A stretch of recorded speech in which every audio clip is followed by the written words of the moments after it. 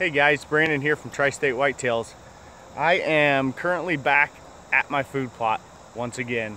I had um, planted a variety of things out here and we had a whole bunch of rain and I thought it was all going to turn out good and a week or so went by and it just it's full of weeds and looks absolutely terrible. So I'm back again and I'm dragging behind the quad I sprayed Roundup and now I'm just dragging and trying to get that uh, packed dirt beat back up again soften it up a little bit on the top layer and I'm gonna try to hit it again one more time. Um, hopefully have that done uh, before this weekend which is Labor Day weekend. I'm gonna put down a mix that I got from DT Food Plots.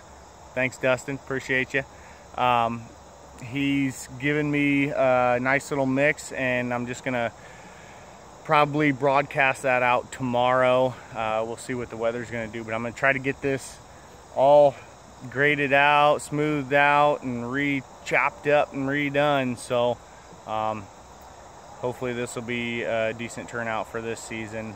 I don't know yet um, but to the trials and tribulations of putting in food plots and, and learning and and trying to do uh, what we do to the best of our abilities. And I'm still learning, just like a lot of us. Um, and uh, from what I learn and, and what I, I learned from, I try to keep that posted with you guys and uh, hope you guys enjoy my videos.